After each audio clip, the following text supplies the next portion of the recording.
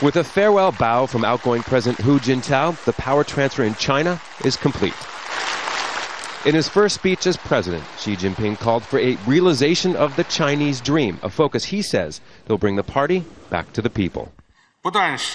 We must continuously realize, protect, and develop the most fundamental interests of the people and develop the entire country, and make the fruits of development include all the people in a fairer way.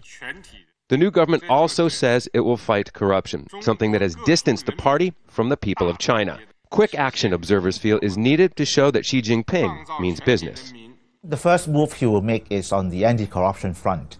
And um, if he's able to um, arrest uh, the really senior officials, uh, whom he calls the, the big tigers amongst the corrupt officials, then he may be able to win uh, uh an, an, element of trust uh, from the people. Uh, but this is difficult because most of his friends and cronies are members of the so-called red aristocracy. They are multi-billionaires.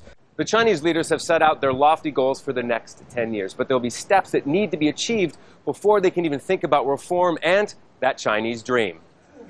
They need the support of party elders and those who have established alliances. Tasked with the day to day operation of China, Premier Li Keqiang in his first press conference said his focus was on economic growth.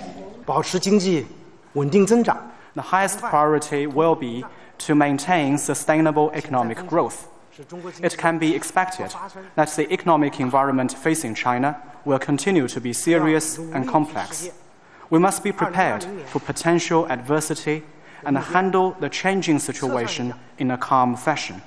China's growth may have slowed, but it is still the envy of many nations.